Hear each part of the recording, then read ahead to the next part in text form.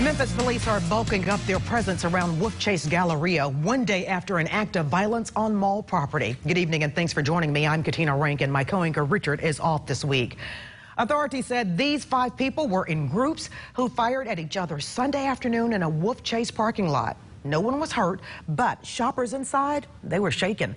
Local 24 News reporter Brad Broders is live at the mall where he spoke to one woman who saw it all unfold. Brad?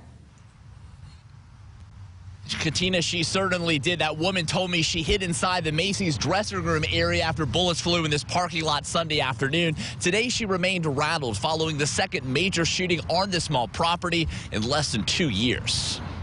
From lingering frustration, people just absolutely don't care about anybody but themselves anymore. To lingering fear. I've never been in a situation like that before. Witnesses to Sunday's shooting outside Wolfchase Galleria weighed in Monday. One woman who didn't want her name or face shown said she saw one man open fire into the parking lot next to the Cheesecake Factory, forcing her to take cover inside a department store. I mean, where's people running to their vehicle out from Macy's, and I mean, people um, jerking up their children and running out, and, and the people that I was in the dressing room with, everybody was scared. Memphis police believe an argument between two groups led to at least two people shooting at each other near innocent bystanders. Similar situations to Sunday's shooting have happened before at the 22-year-old Cordova Shopping Center.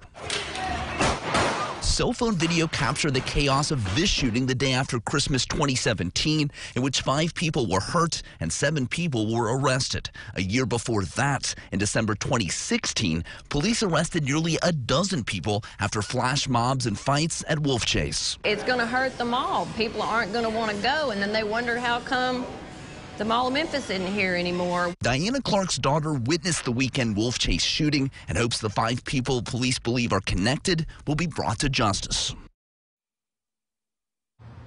Now, in the last hour, a Wolfchase Galleria spokesperson released a statement which said, in part, there are proactive security measures all across this property, both seen and unseen. In addition to that, you can see Memphis Police has SkyCop cameras on the property, as well as private security. The, Meyer, the mall hires roaming this property pretty much all hours of the day. Reporting live at Wolfchase Galleria in Cordova, Brad Broders, Local 24 News.